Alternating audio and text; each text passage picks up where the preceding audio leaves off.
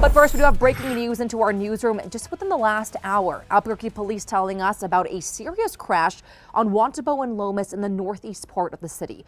The department says a car and motorcycle were involved there. We are also told one person has been taken to the hospital in critical condition. We are still working to figure out if any lanes are closed at this time, so as soon as we learn more, we will update you.